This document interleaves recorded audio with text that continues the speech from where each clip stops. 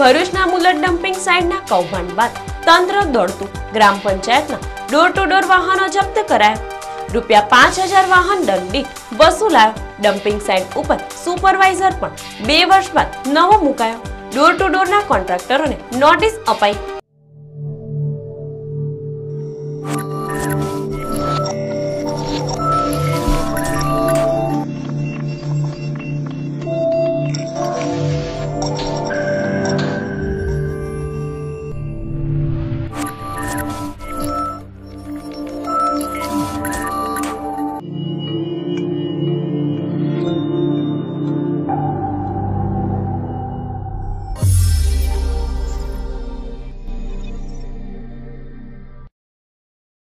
ભરૂચની મુલત ડમ્પિંગ સાઇટના કૌભાંડનો ભાંડો ફૂટતાની સાથે જ ભ્રષ્ટાચારી અધિકારીઓ માનમાં આવી ગ્રામ પંચાયતની ડોર ટુ ડોરના કોન્ટ્રાક્ટરોને નોટિસ ફટકારી વાહનો જપ્ત કર્યા છે.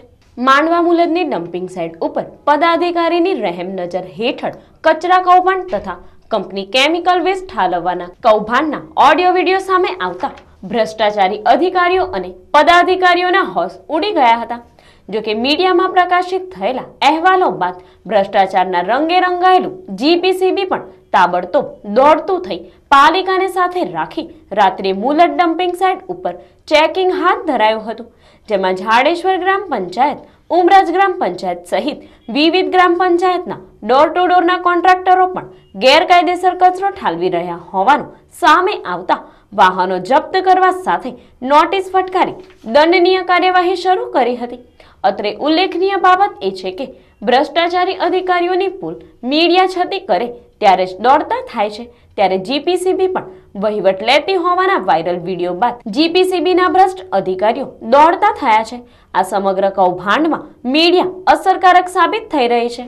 ઇન ભરૂચ ચેનલના અહેવાલ બાદ જીપીસીબીનું જે લેવડ દેવાનું કૌભાંડ સામે આવ્યું હતું, ત્યારબાદ જાગૃત થયું હતું એવું દેખાઈ રહ્યું છે. આપણે આજે ડમ્પિંગ સાઇટ પર આવેલા છે. અહીંયા માત્ર નગરપાલિકાનો જ કચરો ઠાલવવાનો હોય એવું રટણ કરવામાં આવ્યું હતું. દર્શક મિત્રો આપણે જણાવી દઉં કે ઇન ભરૂચ ચેનલના અહેવાલ બાદ જીપીસીબીના હોશ ઉડી ગયા છે. કારણ કે તેઓ પણ અહીંયા વહીવટ લેતા હતા એવા, એવી ઘટનાઓ સામે આવી છે. આપ જોઈ રહ્યા છો, આ જાડેશ્વર ગ્રામ પંચાયત પણ અહીંયા કચરો ઠાલવતી હતી. અને આજે લગભગ ત્રણ વાહનો જપ્ત કરવામાં આવ્યા છે. માત્ર નગરપાલિકાની ડમ્પિંગ સાઇડમાં ગ્રામ પંચાયત કચરો કેવી રીતે ઠાલવી શકે એ વાત અહીંયા મહત્વની હતી. પરંતુ આજે ઇન ભરૂચ ચેનલ હોય, તમામ મીડિયાના અહેવાલો બાદ ભ્રષ્ટાચારી જીપીસીબીના અધિકારીઓ ધીરે ધીરે જાગૃત થઈ રહ્યા છે, તેવું સ્પષ્ટ દેખાઈ રહ્યું છે. જોવું રહ્યું, હજુ આ કૌભાંડ કેટલું આગળ ચાલશે?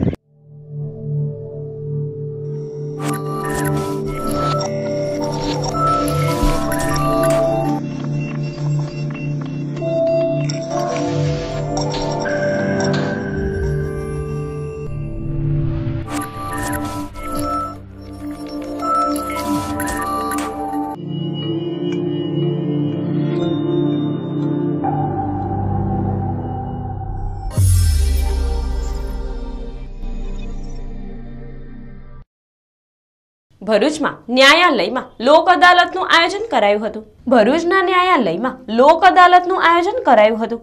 ભરૂચ કોર્ટમાં નેશનલ લોક અદાલતનું આયોજન કરાયું હતું, જે લોક અદાલતને દીપ પ્રાગટ્ય કરી ખુલ્લું મુકાયું હતું, જેમાં મોટી સંખ્યામાં લોકોના કેસનો નિકાલ કરાયો હતો.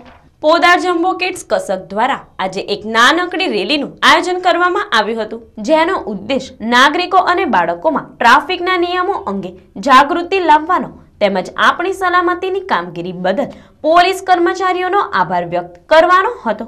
નાના બાળકોએ તથા તેમના વાલીઓએ કસક એસઓજીના ઓફિસરનું ફૂલ આપીને સન્માન કર્યું હતું. એસઓજીના હાજર સ્ટાફ દ્વારા પણ નાના બાળકો તથા તેમના વાલીઓનું સન્માન કરવામાં આવ્યું હતું. ભરૂચમાં મોઢેશ્વરી ટ્રસ્ટ દ્વારા એકવીસમી શોભાયાત્રા નીકળી. Shri Modheshwari social group charitable trust Bharuch દ્વારા એકવીસમી વિશાળ શોભાયાત્રાનું આયોજન કરાયું હતું.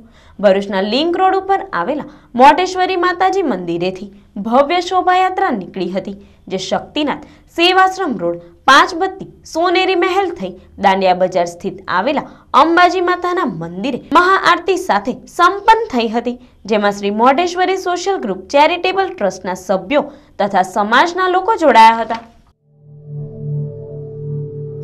oh you.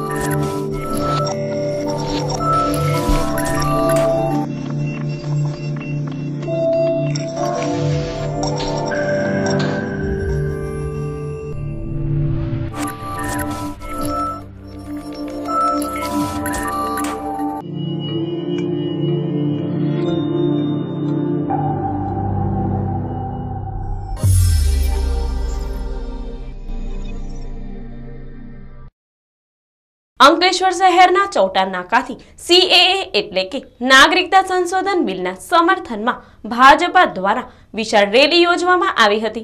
આ રેલી ચૌટા નાકા ખાતે રાજ્યના સહકાર મંત્રી ઈશ્વરસિંહ પટેલની અધ્યક્ષતામાં યોજાઈ હતી, જેમાં જિલ્લા પ્રમુખ યોગેશ પટેલ સહિત શહેર તાલુકા ભાજપના આગેવાનો, ચૂંટાયેલા સભ્યો, નગરસેવકો, ભાજપના હોદ્દેદારો દ્વારા રેલીમાં સીએએના સમર્થનના બેનરો પ્લેકાર્ડ સાથે, આઝાદી સહિત વિવિધ સૂત્રોચ્ચાર સાથે આ રેલી નીકળી હતી, જેમાં અનેક લોકો જોડાયા હતા.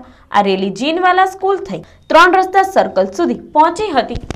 પાકિસ્તાનની અંદર લઘુમતી કોમ એટલે કે હિન્દુ ખ્રિસ્ટન શીખ, ઈસાઈ, પારસી, જૈન, બૌદ્ધ, આ જે કોમ્યુનિટી ત્યાં લઘુમતીમાં જે હતી, એની જે સુરક્ષા જે કરી જોતી હતી, એ પાકિસ્તાન, બાંગ્લાદેશ અને અફઘાનિસ્તાનને થઈ શકી નહીં.